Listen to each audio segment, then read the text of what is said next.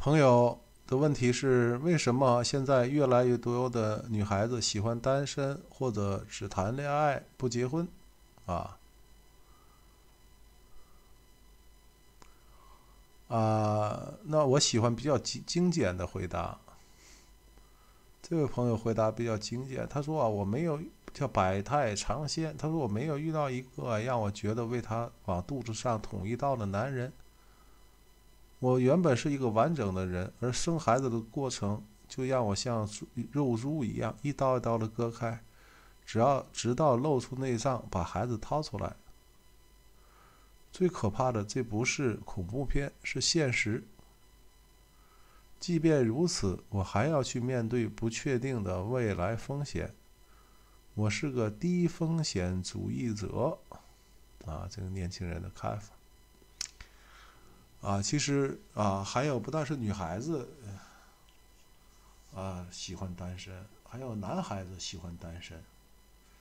其实这种单身呢，啊，也有可能可以解释成为喜欢，也可以被解释成啊，他无无的选择，无奈。你怎么能去抢啊？人家不愿意和你结婚，我们无法营造那种婚姻的那种那个物质基础。啊，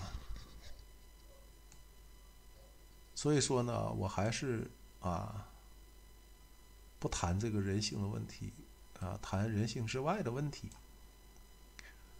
啊，就是婚姻和家庭，它的深刻性、它的重要性被严重的啊、有意的啊消解掉了啊，这个。啊，去除掉了，而拼命的把它功能化，啊，你越功能化它，啊，那种庄严的、神圣的，其实我个人认为，这个婚姻和家庭比宗教还高，啊，假如你认为这种情感，啊，呃，是一种啊非常重要的一种情感，啊，宗教又是情感里似乎是最高的了，我觉得它比宗教还高。啊，如果有一个家庭教、婚姻教，也挺也挺正常的。啊，他的手段比任何的团体、比任何的宗教都多，他的场景比他们也都丰富。啊，所以说他完全可以比宗教更高。但是这种啊神圣性、丰富性、啊严肃性、庄严性。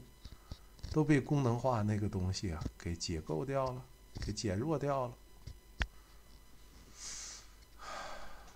那造成大家不结婚、结不了婚的原因啊，有十万八千种。我谈的这个是最重要的一种啊，我个人认为它是排在第一的啊，就是功能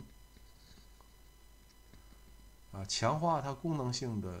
这个东西，啊，减弱了它的神圣和美好，啊，使人产生不了啊那种啊被家庭婚姻召唤的力量。